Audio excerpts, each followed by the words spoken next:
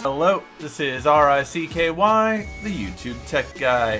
Hey guys, so today I have for you the battery life review for the Galaxy S9 Plus.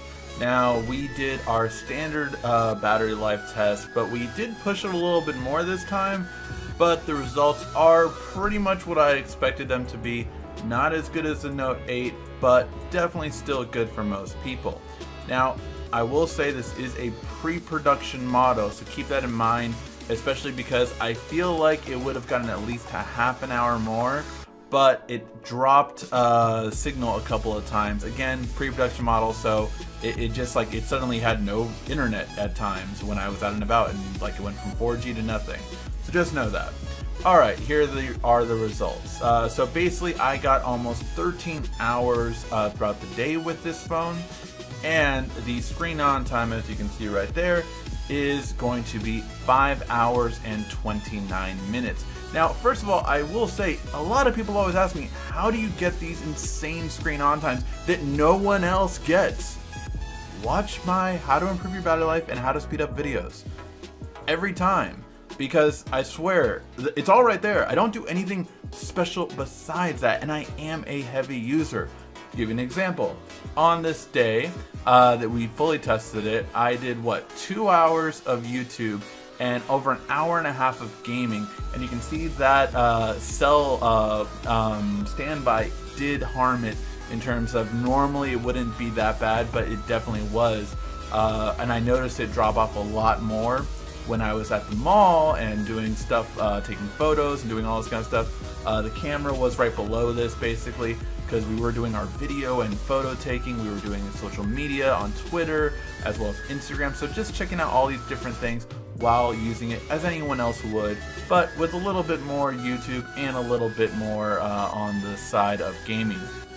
So that being said though, this did do very well. Over five hours is a good is a good stance to go on. Again, I do feel that it would have been right at the beginning of six hour mark uh, for an average if the cell signal had been uh, better.